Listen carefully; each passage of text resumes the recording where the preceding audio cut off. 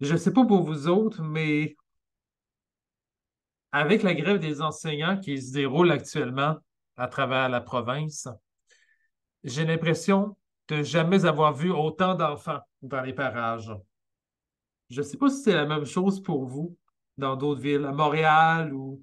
mais euh, on voit de plus en plus de parents se promener avec leurs jeunes enfants, main dans la main. On les voit dans le bus, occuper les sièges réservés aux personnes âgées, tout en mitouflés ensemble.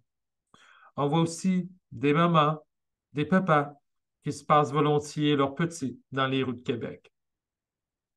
Mais quand on y pense, c'est-tu pas étrange un peu que ça me paraisse aussi surprenant?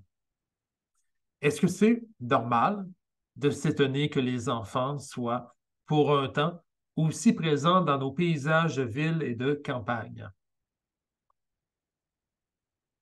Vous savez, l'enfant, lorsqu'il n'y a pas de place où l'envoyer, on dirait parfois qu'on ne sait pas trop quoi en faire. Dans notre société, c'est le drame lorsqu'il y a une grève, d'enseignants. Ce n'est pas la première fois. Mais c'est toujours le même discours contre eux. Ils prennent les parents en otage. C'est pour nos politiciens TVA. Comme si les enfants étaient des fardeaux qu'il est nécessaire un peu de parquer comme des personnes âgées dans un CHSLD. Oui, que faire avec les enfants alors que les institutions ne peuvent, pas, ne peuvent plus régler ce problème-là à notre place? Et c'est dans des moments comme celui-là que la place de l'enfant, ou plus exactement son manque de place, nous saute un peu aux yeux. Qu'on le veuille ou pas, l'Évangile nous offre aujourd'hui ce constat-là à travers une scène en apparence très simple, mais au final pas mal plus complexe qu'on pense. Jésus nous livre une parole subversive. Et ce, même par rapport à sa propre culture et sa propre religion. Euh, Ce n'est pas une nouveauté, n'est-ce pas? Nous savons bien sûr que les enfants dans la Bible sont des signes de bénédiction, des dons de Dieu. Un enfant, ça vaut quand même son peso, d'or pour la survie du clan, surtout à une époque où la mortalité infantile était très haute. Mais toujours par rapport aux Écritures, on ne peut pas dire que l'enfant lui-même ou même l'enfance soit mise beaucoup de l'avant. Quelques exceptions peuvent nous sauter aux yeux, comme le récit de l'enfance du prophète Samuel, qui est appelé à servir Dieu. Mais encore, on connaît bien peu de choses de l'enfance de nos grands héros bibliques.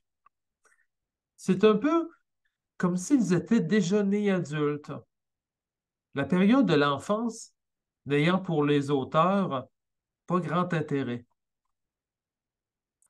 Alors vous voyez, drôle de coup de théâtre que ce Jésus qui, à la question des disciples, leur présente un enfant. Jésus, demande-t-il, qui est le plus grand dans le royaume des cieux? La question est osée et la réponse un tantinet baveuse. Plutôt que de placer l'enfant derrière ses parents, comme toute bonne possession dans un ménage, plutôt que de le mettre de côté comme un placement en banque dont on attend les profits, Jésus le place au centre même de la communauté. Fille des célébrités comme Saint Pierre apôtre, fille du disciple aimé de Jésus.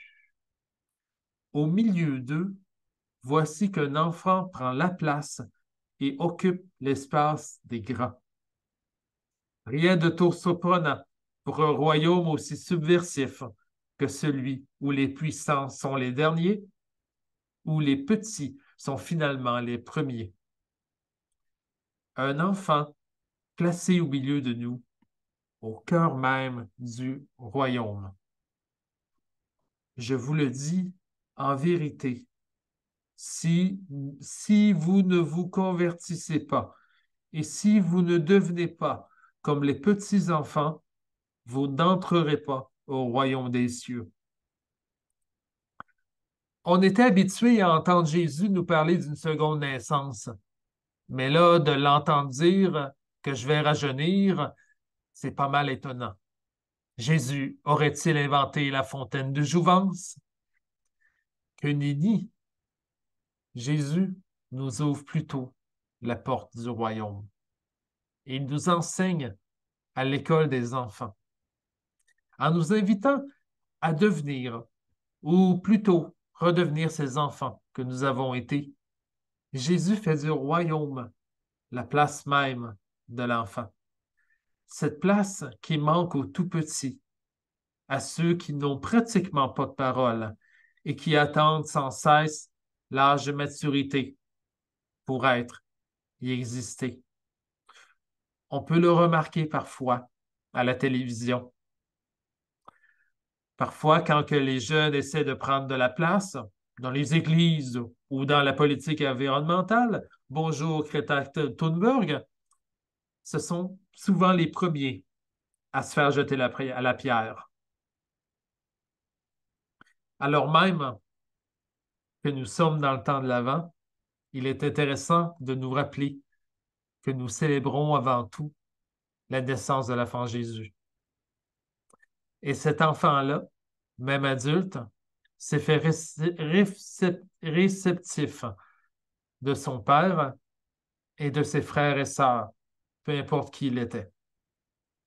Il a écouté, il a joué de l'orgue avec les grandes questions et des paraboles indémodables. Il a suivi la voie qu'il appelait au large, et ce dans une confiance hors de l'ordinaire. Une confiance qui nous paraît naïve à nous, mais qui est en fait toute naturelle pour un enfant. Il a aussi parlé de Dieu et du monde sans aucun filtre. Et ça, c'est le cas de le dire. Certes, les enfants, tout comme Jésus, ont cette transparence qui nous fait du bien et qui nous révèle les non-dits. On le sait bien, surtout pour les parents qui sont ici en ce moment. Avec eux, ce qui est caché finit toujours par se savoir un jour ou l'autre. C'est quelque chose qui revient, n'est-ce pas?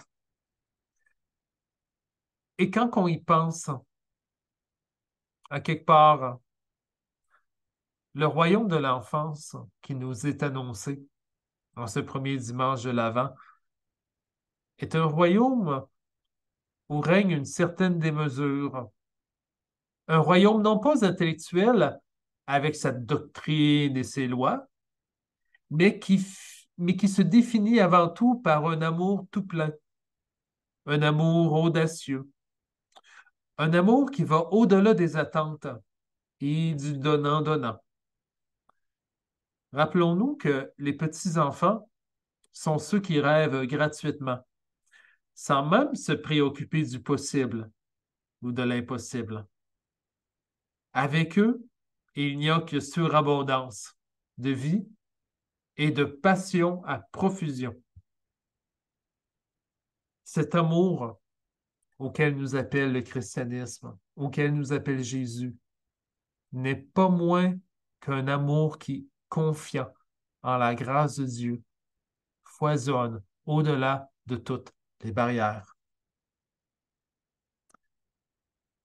Vendredi après-midi, alors que j'allais à la rencontre d'une autre pasteur, je m'étais assis dans le bus juste à côté d'une mère et de son fils.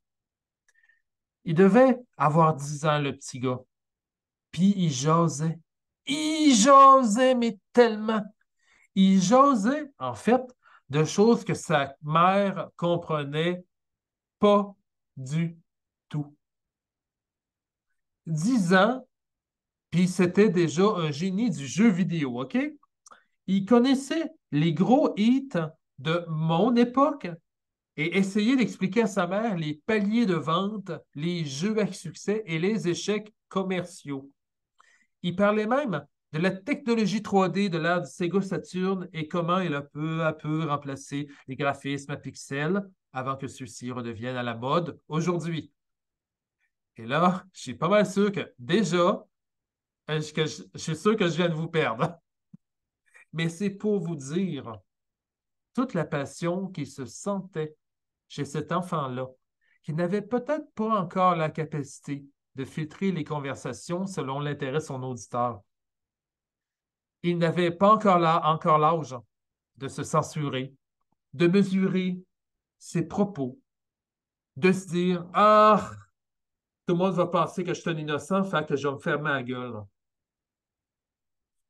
Mais Dieu sait que s'il y en a eu un qui a eu l'air innocent aux yeux du monde, ben, c'est bien Jésus de Nazareth. Même jeune ou vieux, il se faisait, il se faisait traiter de glouton, de fou pour sa passion pour Dieu, d'amour et de justice. Si l'enfant se définit par sa démesure et son désintérêt, le peuple nouveau que nous formons déjà sera sans mesure dans son expérience et son partage de l'amour, la confiance et la gratitude. Et c'est pour vous dire que en ce temps de l'Avent, ne faisons pas qu'attendre et espérer en l'enfant Jésus. Mais suivons ces paroles. Redevenons-nous aussi ces petits-enfants pleins de vigueur. C'est par notre joie d'enfant, par notre audacieuse imagination, que le monde de demain naîtra. Mes amis, l'Évangile nous invite à rêver avec grandeur. Jouons donc de l'orgue avec folie. Parlons de passion et d'amour, sans filtre. Vivons cette démesure chaque jour qui nous est donné de vivre. Soyons ces petits-enfants qui cherchent ce Dieu créateur dont ils ont été créés à l'image de car la venue de l'enfant Jésus nous assurera de nouveau que nous avons toutes et tous notre place dans le royaume, là où les babillages se révèlent être des parlers en langue, là où les jeux et les rêves constituent des projets d'avenir pour la création. Être humble, ce n'est pas être faible, ce n'est pas non plus être petit, petit, se faire petit, mais plutôt l'expérience d'une confiance. Et le terme n'est peut-être pas très bien choisi, mais une sorte de dépendance, ou je devrais dire un abandon en Dieu. Être humble, c'est reconnaître que Dieu, notre Père, est l'artisan de nos vies et que nous pouvons lui faire confiance et nous blottir entre ses bras, nous donner à lui et lui faire confiance jusqu'au bout. Que le Fils, l'Esprit Saint et le Père nous rajeunissent toutes et toutes en ce début du temps des fêtes que ce temps de l'Avent soit pour nous cette occasion d'ouvrir nos horizons, de retirer les filtres qui sont devant nos yeux, pour voir le monde d'une autre manière, pour voir notre prochain comme une personne toute nouvelle que l'on peut découvrir. Un temps aussi pour redécouvrir et rediscuter de l'amour et de se dire, j'aimerais aussi le partager aux autres. J'aimerais me confier aux autres comme un enfant qui aime et qui apprend, chemin faisant, à aimer.